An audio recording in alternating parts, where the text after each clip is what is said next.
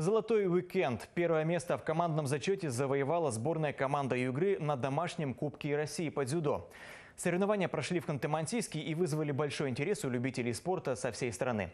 На турнире разыграли 14 комплектов наград у мужчин и женщин в разных весовых категориях. Сборная команда округа стала обладательницей трех золотых, одной серебряной и одной бронзовой медали. Подробнее о том, кто из югорчан стал триумфатором Кубка России по дзюдо, расскажет Михаил Малеев. В первый день Кубка России под дзюдо сборной команде Югры не повезло. Те спортсмены, на кого возлагал надежды тренерский штаб, выступили неудачно. Второй день принес сборной Югры только бронзу. Ее завоевала Александра Балабанова. Зато заключительный третий день соревнований выдался для наших дзюдоистов особенно удачным. Первое золото для сборной Югры в весовой категории до 70 килограммов принесла Екатерина Денисенко. В сложнейшем поединке она смогла сломить сопротивление спортсменки из Пермской области Валентины Валентины Мальцевой. Я с ней встречалась уже не первый раз. И всегда были очень тяжелые с ней встречи. Я как бы настраивалась. Я знала, что будет тяжело. Но, слава богу, сегодня удача была на моей стороне. И что так все завершилось. И вдвойне приятно, что это произошло дома, при поддержке публики. Я очень рада этому, что удалось дома хорошо выступить, показать хорошую борьбу.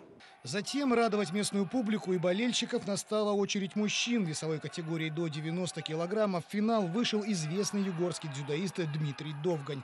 В драматичном по своему накалу поединке, благодаря вот этому броску, медаль высшей пробы все же досталась нашему спортсмену. Тем более, что это золото ему было нужно как воздух. После чемпионата России, как там неудачно выступил, начал готовиться к Кубку России. Победа на домашнем турнире, э, как бы это очень много для меня значит. Приехали э, друзья, родственники, жена поболеть за меня. И я был э, настроен только на золото, то есть только победить. В финале соревнований у мужчин весовой категории до 100 килограммов встретились два представителя сборной Югры – Николай Коваленко и Ахмед Магомедов. Соперники давно знакомы друг с другом и часто тренируются вместе на сборах. Николай Коваленко почти сразу завладел преимуществом и довел поединок до победы. Ему, соответственно, досталось золото, а его оппоненту – серебро. Отрабатывали арсенал очень большой, но, скажем так, половину выполнил. Мог еще лучше. Так что запал останется на следующее дальнейшее соревнование. Как поддержка дом домашняя? Домашняя поддержка, зрителям вообще огромное спасибо. Чувствовал, чувствовал поддержку домашних стен. После завершения выступлений главный тренер югорчан Алексей Казаков не скрывал эмоций. По словам специалиста, рецепт успеха его команды предельно прост. Просто надо много работать. И только на работа, настрой психологический и желание победить.